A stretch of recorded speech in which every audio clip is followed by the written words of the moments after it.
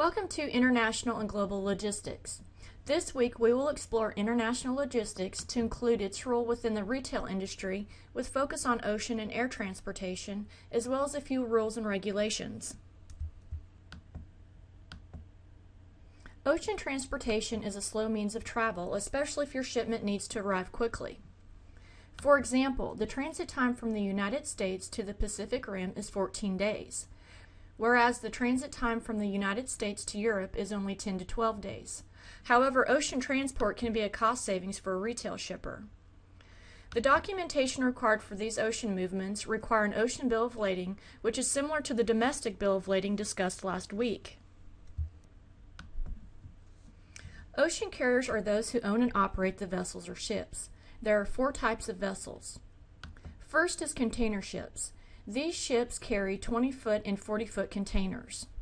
Next is bulk carriers. These bulk carriers carry bulk liquid cargo. Next is ro-ro vessels. These vessels carry items that can be rolled on or off of the vessel, such as automobiles. Lastly is break bulk. These vessels carry bulk commodities too large for containers.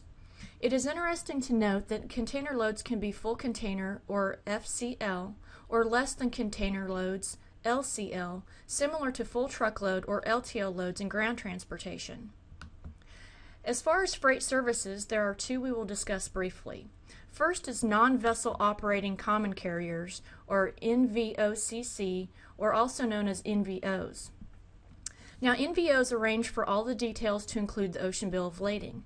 They make their money based on the difference between the full container rate they pay to the steamship carriers and the LCL rate they charge the shipper.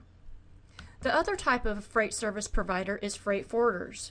Now, freight forwarders do everything an NVO does and more. The freight forwarders have networks and relationships with various entities such as ocean and air carriers and can pass these savings on to the shippers.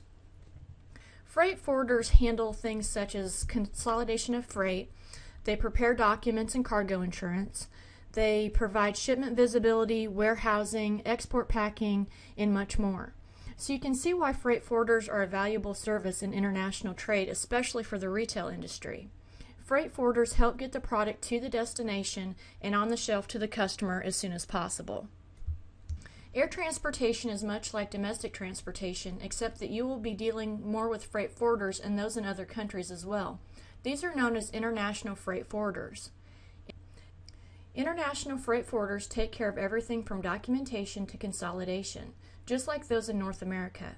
Now, the important thing to remember is that additional fees and accessorial charges are incurred for these various services. Therefore, you must be diligent in finding out as much information as possible and know the right questions to ask in order to know what you are paying for and what is your risk and responsibility in the transaction. This will be discussed in further detail a little later in the presentation. Now, with all of this international trade comes new rules, regulations, and initiatives in an effort to provide more security at our ports.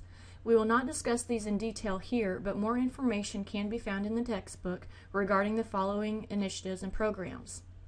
Automated Commercial Environment, the Bioterrorism Act, Container Security Initiative, the Trade Act of 2002, Free and Secure Trade, Customs Trade Partnership Against Terrorism.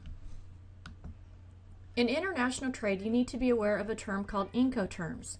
Incoterm stands for International Commercial Terms. This is much like the domestic terms of sale or contract of sale. Incoterms provides a standardized code for risk and responsibility for parties engaged in international trade. What this means is that as a shipment moves from point A to point B, there is a transfer of ownership, risk, and responsibility as the shipment moves between points. These Incoterms identifies the responsibilities of the buyer and seller. The International Chamber of Commerce website is a great place to visit to learn more about Incoterms. Another important aspect of negotiating a contract between a buyer and seller is the price and payment options. These details need to be discussed during contract negotiations, but more specifically, you need to know as a seller how and when you will be paid, as well as your responsibility in the movement of the goods. There are several options, but understanding the risk of these international transactions are vital, so do your due diligence. In conclusion, this presentation has given you a brief glimpse of international and global logistics to include ocean and air transportation. As with any movement of freight, there are a lot of details, negotiations, and documentation to complete to move a product or container domestically or internationally.